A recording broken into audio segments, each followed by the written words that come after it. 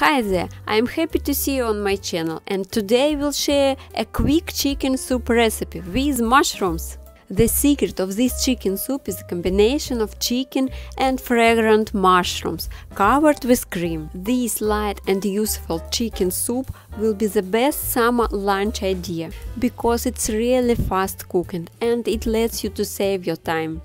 Nutritious and at the same time light. All ingredients are simple and you have it at hand. Do you remember my cream cheese recipe?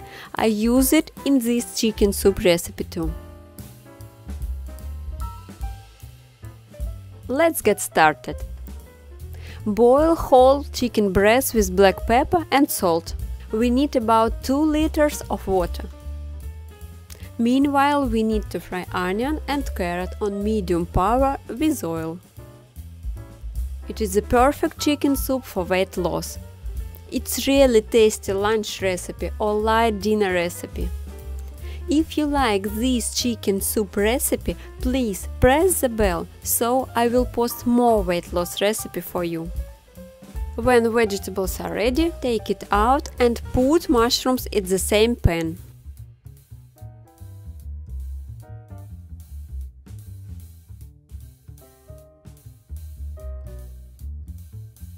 After 15 minutes of boiling the breast, we put potatoes and boil another 15 minutes.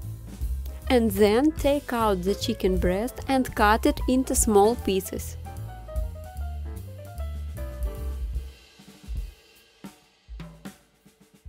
Return the chicken to the pan and add our roasted vegetables and mushrooms.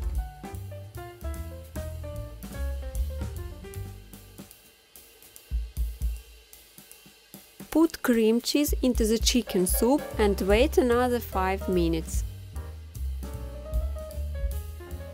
I like to add fresh greens into the plate. It can be dill or parsley or whatever you like. So the greens will be more useful for you and the chicken soup will be stored for a few days. So our chicken soup is ready. I like to serve it with bread crust croutons. Bon appetit, enjoy your meal and see you! The best reward for my work is your feedback. Put links, write questions, comments and of course subscribe. Fresh ideas every week.